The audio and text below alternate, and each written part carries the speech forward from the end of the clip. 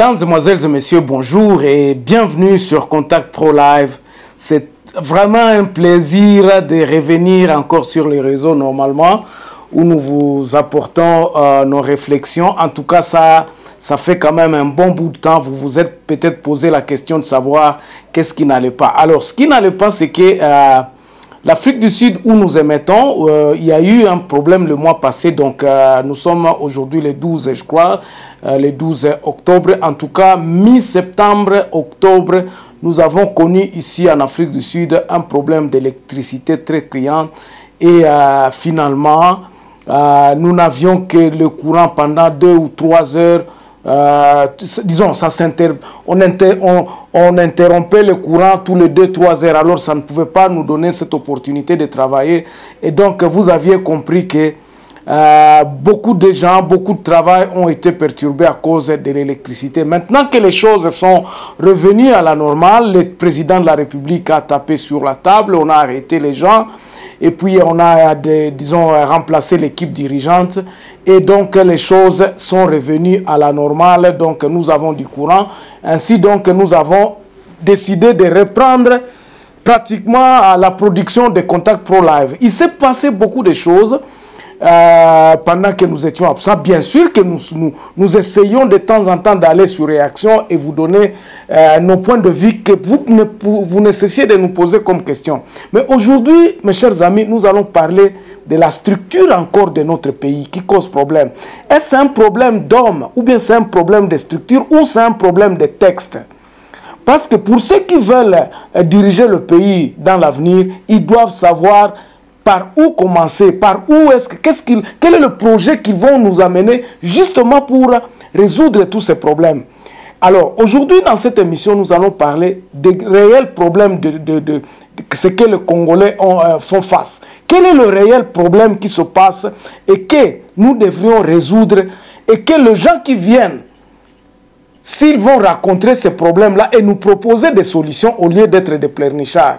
Voilà ce qui va nous animer aujourd'hui dans cette euh, tranche d'aujourd'hui et j'espère que vous allez passer un bon moment et que vous allez apprécier l'effort que nous sommes en train de faire euh, pour vous apporter ces, réflexions. Et ce que nous vous demandons, c'est justement de vous abonner.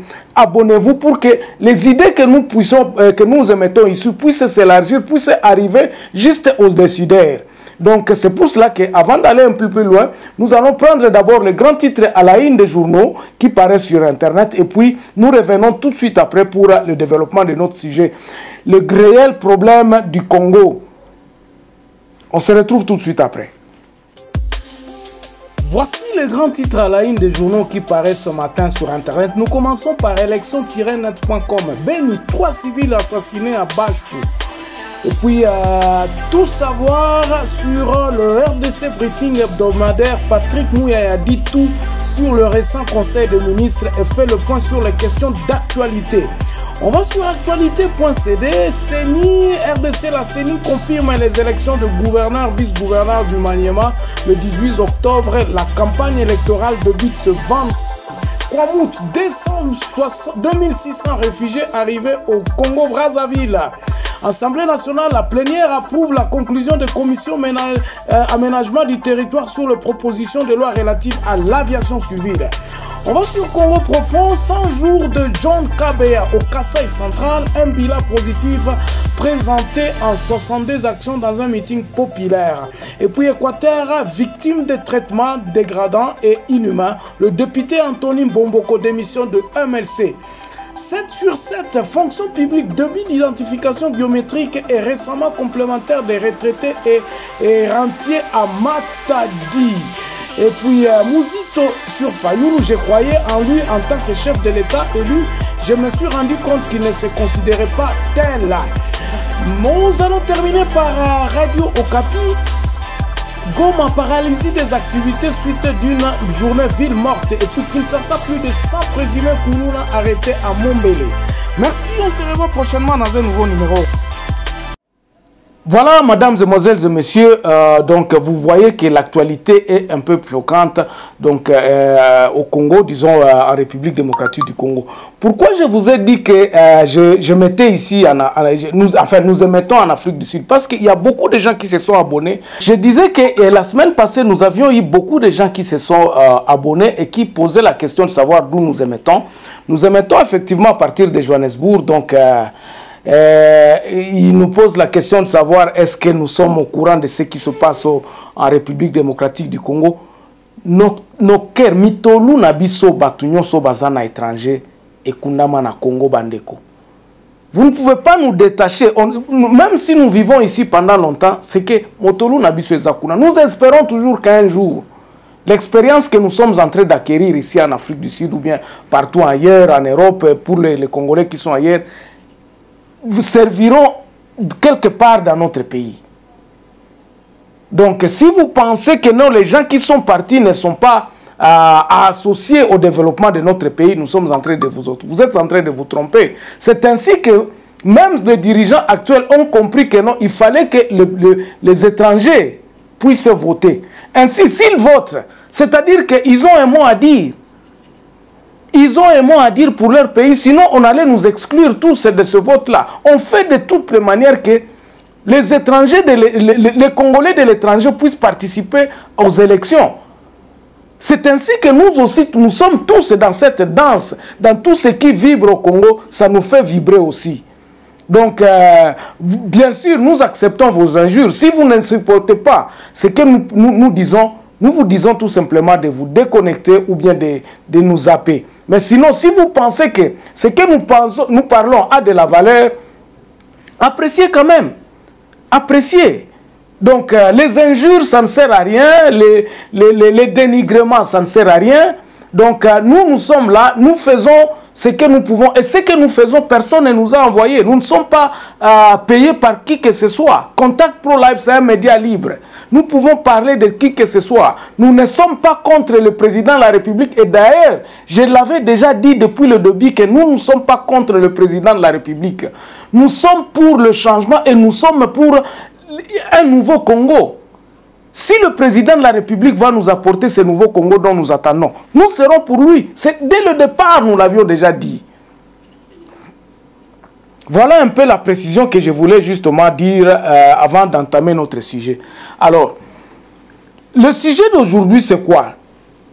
Beaucoup de gens veulent être des présidents de cette république. Pourquoi est-ce que nous voulons être des présidents de cette république démocratique du Congo? Pourquoi est-ce que Bandeko, ba Mukwege, Katumbi, ba Mozito, et ainsi de suite, la liste est longue, tout le monde se bat et tout le monde se dit qu'il a une solution pour, le, problème de la République démocratique du Congo. Alors, nous nous posons, nous nous posons la question de savoir quel est le problème exactement de la République démocratique du Congo. Est-ce un problème d'hommes?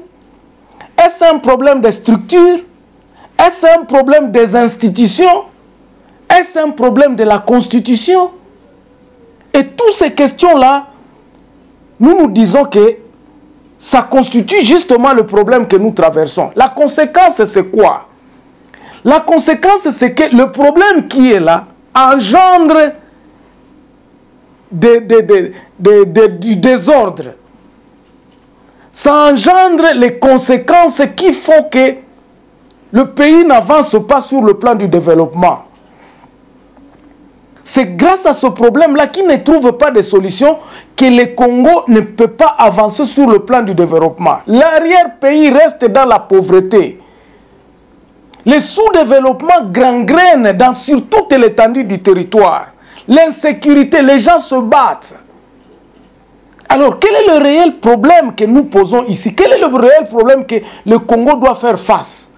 Est-ce un problème d'homme est-ce que devons-nous recourir à l'étranger pour résoudre nos problèmes?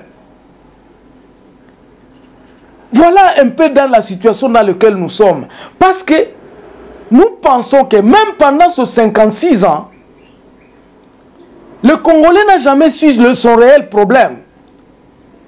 Pendant les 60 ans de l'indépendance, le Congolais n'a pas encore tacler le vrai problème qui, qui, se pose. Avons-nous déjà construit notre pays? Quelles sont les bases sur lesquelles notre pays est, assis? Quelles sont les valeurs qui sont en, exergue pour la direction de notre pays? Et toutes ces questions-là, les Congolais n'arrivent pas. Pourquoi les Congolais n'arrivent pas?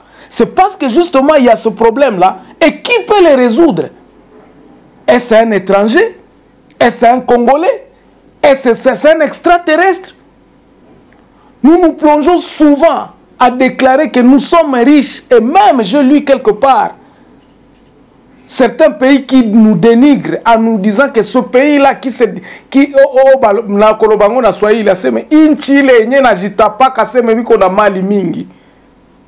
pays qui se tape la poitrine qu'il est il est riche. Mais c'est un pays quand vous y arrivez c'est la, la pauvreté qui gangrène. Ça c'est la déclaration d'un président d'un président d'un pays africain et ce pays africain, nous l'invitons pour venir résoudre notre problème de sécurité. les guerres à l'Est. Vous comprenez de, quel pays je parle C'est un pays de l'Est, dans l'IAEC. Et ce président-là a déclaré ça tout haut dans un meeting. Alors, le problème, c'est quoi? Le problème, finalement, c'est quoi? Que nous cherchons à résoudre. Nous cherchons à résoudre les problèmes du désordre la reconstruction du pays doit commencer par l'ordre. Et l'ordre que nous devons implémenter sera le socle sur lequel le pays sera assis. Le pays, c'est quoi? Quand nous, nous, allons dans les définitions, c'est l'ensemble du peuple qui habite sur un territoire, qui forme... Toutes ces définitions-là sont bonnes. Mais prenons celui qui est officiel dans l'article 10 de notre Constitution qui a été vraiment à 90% bien défini. Que le Congo était un pays, c'est ce qui a été tracé, qui a été l'unification des terres, des tribus, disons des terres appartenant aux tribus, et, cette, et ce peuple-là, de ces tribus-là sont des Congolais. Donc, ce sont les tribus, les, les ethnies qui avaient leurs terres, qu'on a regroupées tous et on a mis ensemble pour devenir la République démocratique du Congo. Et c'est là le, problème, c'est là où le problème, qui, euh, là où se, se, pose le problème maintenant. Je voulais vous faire venir de là sur l'article, parce que dès que le Congolais saura résoudre le problème de l'article 10, tout découlera d'elle-même. Et ça ira très vite. Le réel problème se trouve là-bas.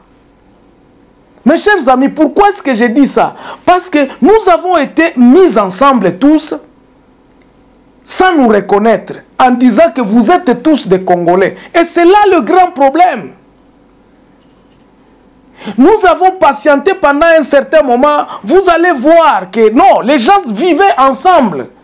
Mais sans toutefois mettre, actualiser donc cette, cette vécu Comment nous devions nous l'actualiser? C'est parce que nous devions former un pays en reconnaissant qui il est. Je parle ici du problème de l'identification des Congolais.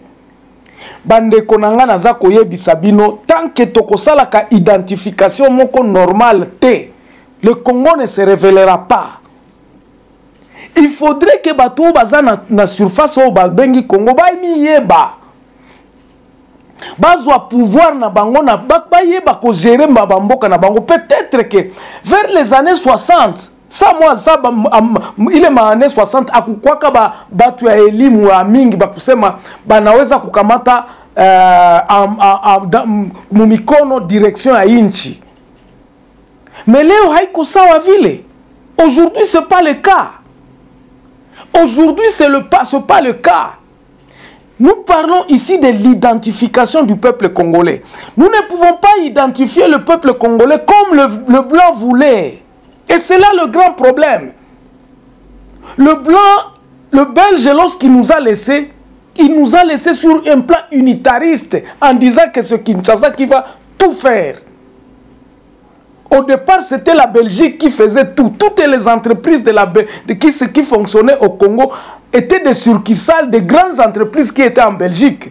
Donc tout se faisait en Belgique et ça venait pour que on résout, on construit les routes, on fait ceci. Les dons ont changé. Les dons ont changé, ont pratiquement changé. C'est comme ça que nous nous disons, il faut absolument que nous puissions poser maintenant les bonnes jalons sur lesquels nous allons asseoir notre pays. Et ce pays-là sera conduit par le peuple congolais. Et le peuple congolais devrait se prendre en charge. Le peuple congolais devrait apprendre à vivre ensemble. Bandeko. conséquence Nous n'avons pas des associations exactement qui se disent que non. Nous mettons par exemple de business ensemble. Deux, trois Congolais se réunissent pour faire un business. Nous n'avons pas été favorisés pour ça. Nous avons toujours été dirigés et puis divisés dans le sens où le Congolais ne peut pas se mettre d'accord. À cause de quoi? À cause justement de ce problème-là euh, fondamental, celui de l'identité congolaise. Finalement, l'identité congolaise n'existe pas. Parce que nous ne voulons pas la reconnaître. On ne veut pas reconnaître cette identité congolaise. L'identité congolaise ne viendra pas dans l'enrôlement ou bien l'identification des Congolais à partir de Kinshasa. Quel était le rôle des chefs coutumiers? Quel était le rôle des chefs de groupement?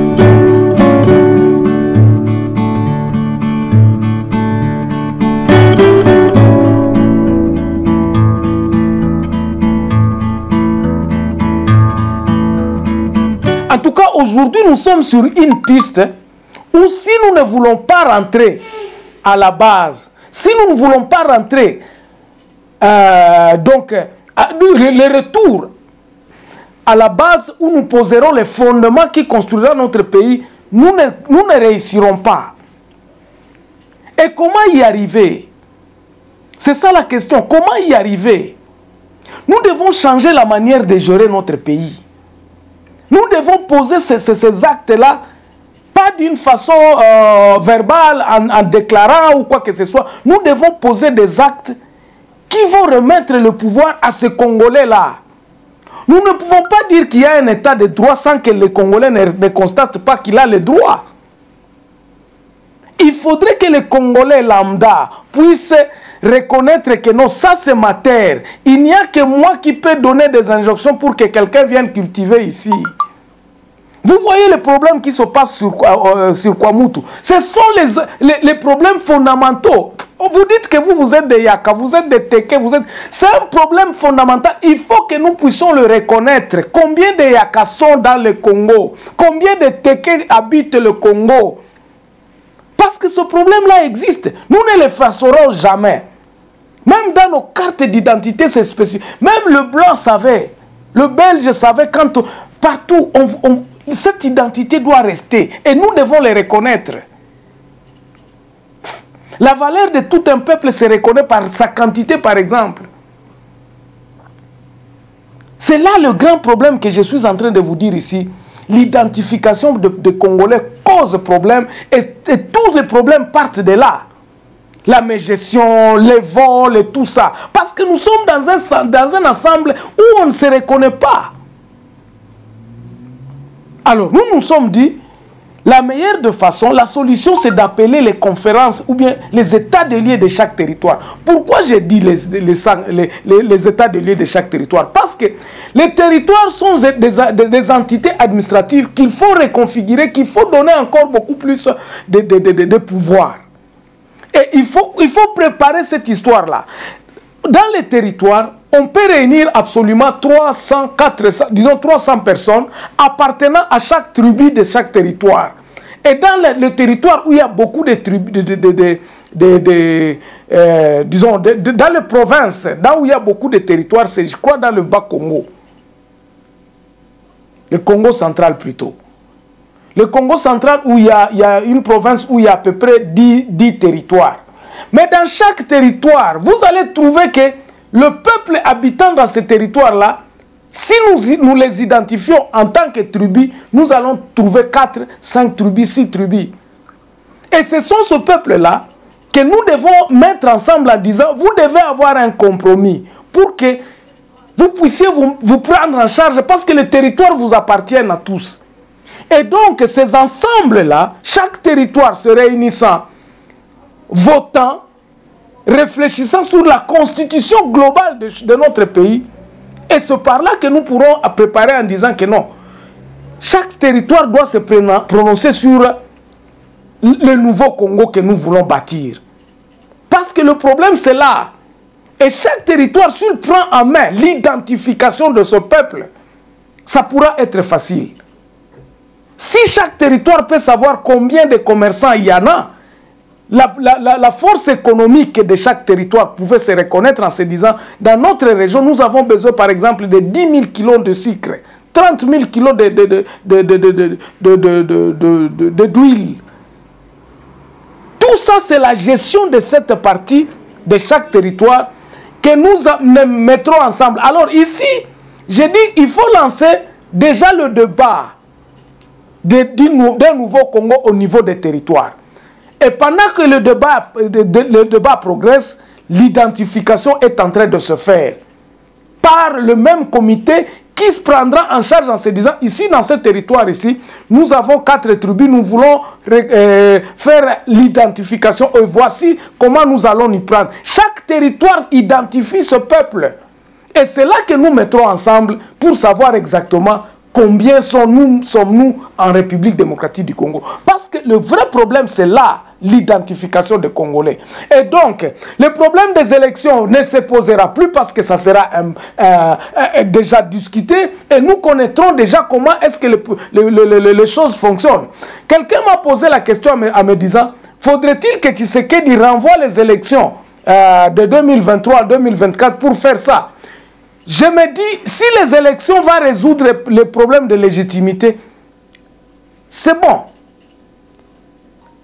On ne peut pas faire reculer les élections parce que nous devons changer la constitution. Non. Pendant cette magistrature de Tshisekedi, nous devons commencer d'abord le débat, la rétrocession du pouvoir au niveau de la base et que le gouvernement qui viendra après, même dans la, la, la, la, la, la euh, si Tshisekedi n'est pas là, mais ça sera une poursuite. L'État, s'il a commencé une chose, que nous pensons que c'est ça qui est la clé, pourquoi pas quelqu'un d'autre ne pourra pas euh, continuer euh, cette idée-là?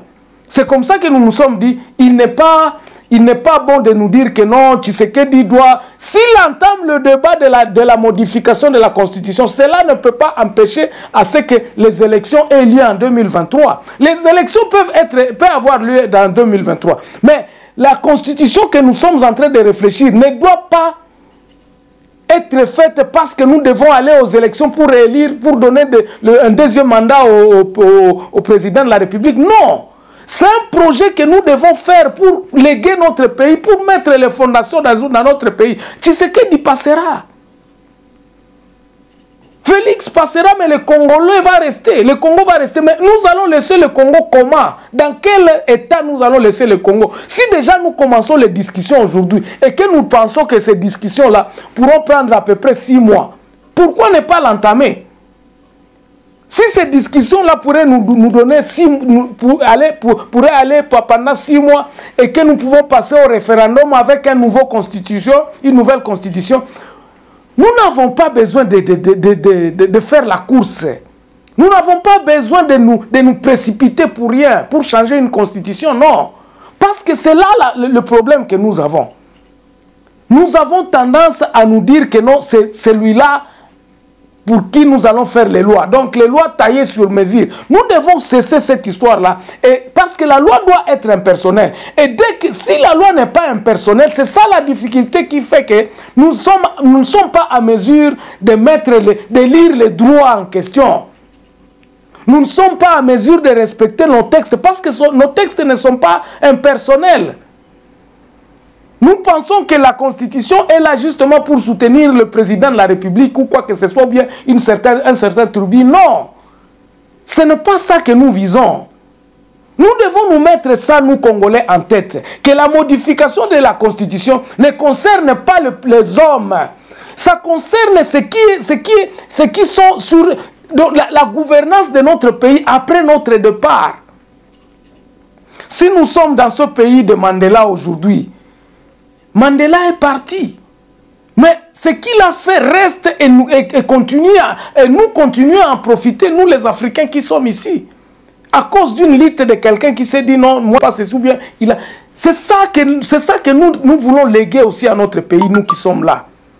Et que la modification ou le changement de la constitution ne doit pas être pour viser à ce que nous puissions garder le pouvoir ou quoi que ce soit. La constitution doit être impersonnelle. Et c'est pour cela que nous sommes en train de nous battre en disant, les idées que nous donnons ici, le président peut le prendre, ou les prochains qui viennent, ou ceux qui sont en campagne peuvent se dire que voici la solution pour notre pays. Parce que cette solution va résoudre les problèmes de guerre, les problèmes de la gestion même du pays et le problème de l'intégrité du territoire.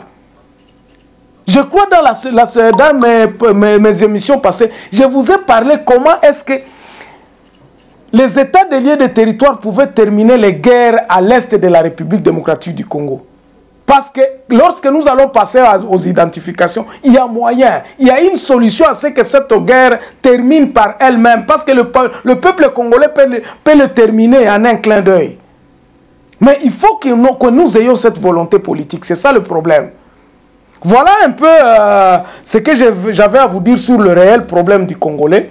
Et si vous avez aimé encore en, euh, cette émission d'aujourd'hui et que vous êtes là pour la première fois, n'oubliez pas de, de, vous abonner parce que vous l'avez aimé. Si vous aviez des reproches ou si vous aviez d'autres avis contraires, vous pouvez laisser dans les commentaires. N'oubliez pas surtout de clocher à cette cloche, euh, de cocher à cette cloche pour être averti quand nous mettons en ligne d'autres vidéos. Les idées que nous mettons sur, la place publique ici, c'est notre contribution pour la reconstruction de notre pays. Si un parti politique peut se baser sur ce que nous disons, tant mieux. Ce pas, nous, serons contents si ces idées ici puissent euh, être mises en place. C'est pour cela que je vous dis, partagez nos émissions pour que finalement nos vidéos aient de la valeur et que les idées que nous émettons ici puissent être écoutées et peut-être adoptées par certaines personnes en manque d'idées et qui ont créé des partis politiques juste pour la course du pouvoir. Mais dans leur parti politique, ils n'ont aucune idée euh, valable qu'ils peuvent présenter au peuple congolais. Merci beaucoup. On se revoit prochainement dans un nouveau numéro. Portez-vous bien. Au revoir.